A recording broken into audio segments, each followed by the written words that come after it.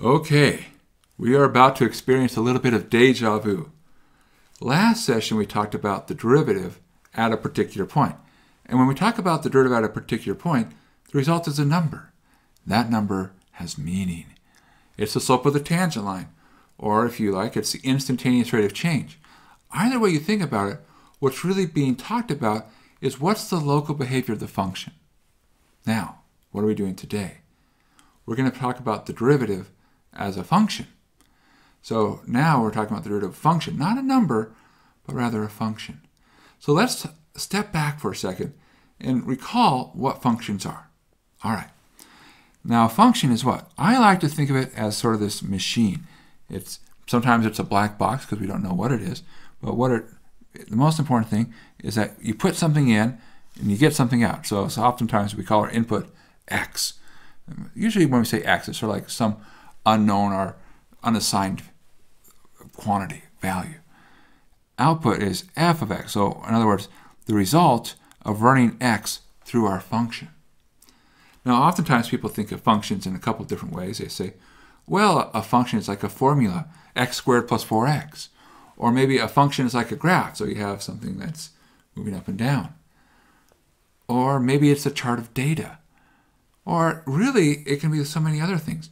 Now, one of the things to keep in mind is functions don't just have to involve numbers. Some of the most interesting functions that students care about don't involve any numbers at all. As an example, the most interesting function that students care about is called the curve. Now, what goes into that curve? Well, what goes into the curve, the input, usually are things like uh, scores on tests and homeworks and quizzes. And the output, a letter grade, like an A or B, a C, hopefully not a D or an F. But that is the most studied function. I'll tell you, students love studying the curve. If students were as excited about studying other functions as they were excited about studying the curve, I think everyone would do great in calculus. You got to have that passion, and then you'll do great. Now, there is a special type of function which you give a name to, which is called an operator. Now, an operator is a function which acts as on functions. In other words, you're going to put a function into your machine, and, and out comes a new function. So the operator we're going to talk about is the derivative operator. Plug in a new a function, out comes something, a new function, f prime of x. Well, how does it work? Well, if you think back to what we talked about last session, we said the derivative at a point is something like the following. F prime of a, limit as h goes to 0, f of a plus h minus f of a all over h. All right, so that was the derivative at a point. How do we make a derivative function? Well, like I said, deja vu, here we come replace a by x. And there we go. So it's very, very similar. It's a similar process. What's the difference? Well, in some sense, it's a little bit more flexible. We're trying to understand the derivative as a function. In essence, what we're doing is instead of trying to find the slope of a tangent line at a particular point, we're trying to find the slope of the tangent line at all the particular points. So in other words, we're finding all the slopes of the tangent lines. Now, if I want a slope, I do have to evaluate because a slope is a number, it's not a function. But by evaluating at different values, I can get the different slopes. All right. Now, one key word, and you're going to hear this word quite a bit. There's something called the word differentiable. Now, what is that? Well, differentiable is just a fancy way of saying I can take a derivative. So whenever you hear the word differentiable, think derivative. Now, another word that you sometimes hear, and uh, especially if you go further in math, you, they like to call it smooth. Something is smooth. And uh, so we do know examples of things which are not differentiable at certain points. As an example, if you recall the absolute value function, there's that little right there, right? It's not differentiable at that point. Now, it is differentiable at other places, so you have to be careful. Oftentimes, people talk about it's not differentiable here. There are functions which are not differentiable anywhere, and so you have to keep that in mind. Now, a little bit about notation. because who doesn't like to talk about notation? So there's a couple ways to write the derivative. Now one of the most common ways you'll see it is there's this notation involves d and dx. So whenever you think of d, one way you should sort of think about it is you should think of it as a, a change in. And in particular, a small change in. And very, very small change. So change in something over change in x. So what does that mean? Well, so if I have my function, the derivative of f prime of x, I can think of how does this thing, which I call f of x, how is f of x changing as I change x? Sometimes it's written df dx, sometimes it's written dy dx. See, you can think of it almost like a, a slope of a line. Change in y, change in x, change in output, change in input. And a lot of people like the prime notation, y prime. Now, which notation should you use? The answer is you should recognize all of them because different people use different notation. And this is one of the things you might say, couldn't we just make up our mind and pick one notation? Unfortunately, no. A lot of people came up with notation sort of simultaneously.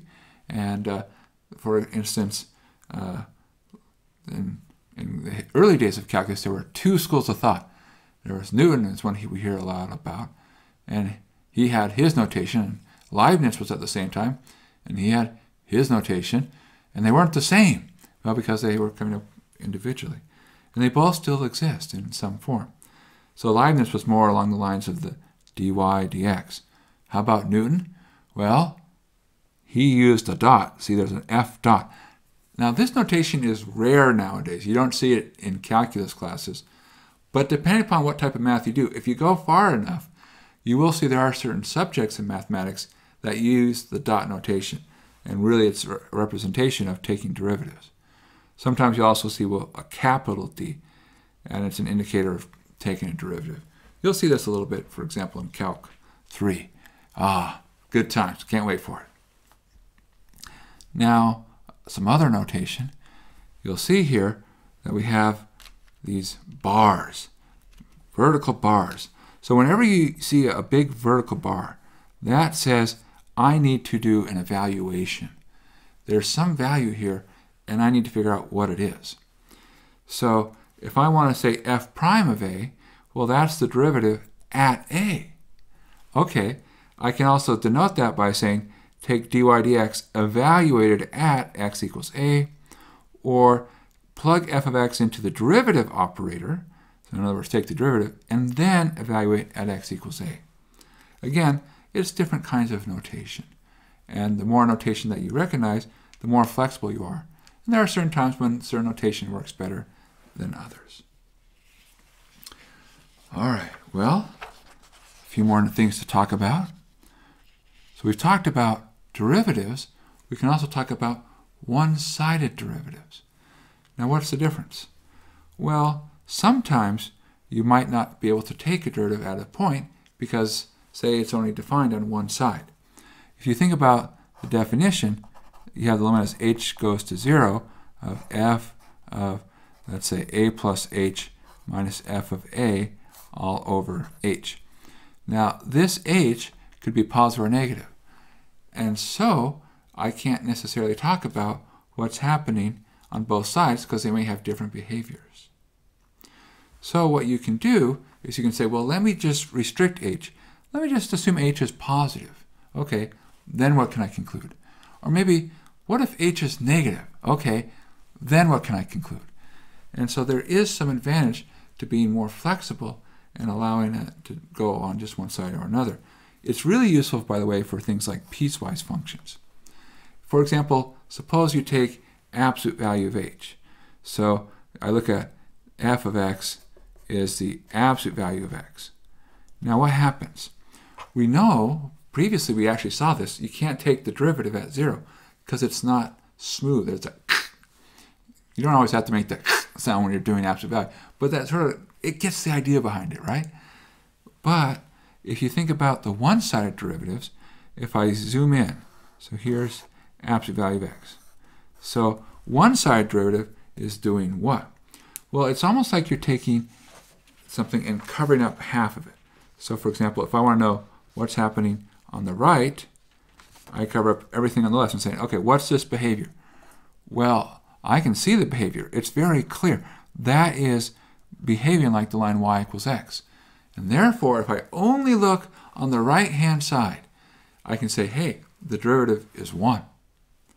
On the other hand, I could cover up the right-hand side and say, hey, what's happening on the left-hand side? So if I only look at the left-hand side, the slope, it's minus 1 because it's a line, y equals minus x. And so what I see is I see two different derivatives depending upon whether I look at a left-hand or a right-hand derivative. Now, there's an important point here.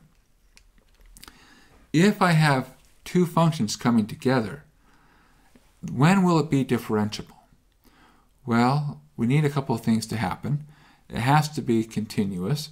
You know, you can't be differentiable and, and be like that. We'll get into why in just a second here.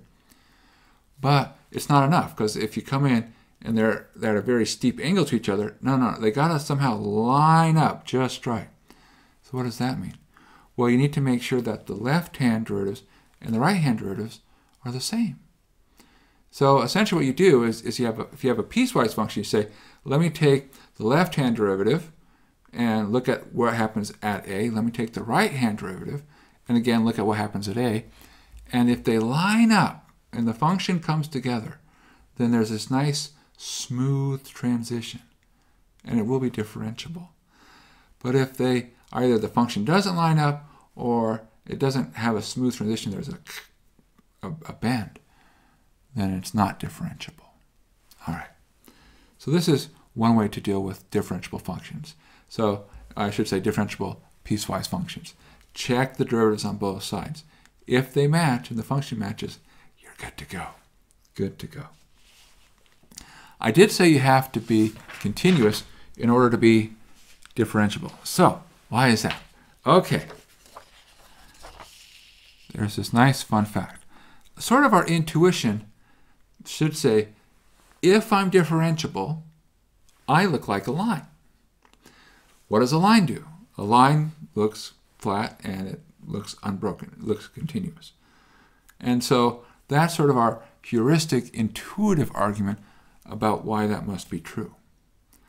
Can we be more concrete? Well, we can talk about the definition of continuity.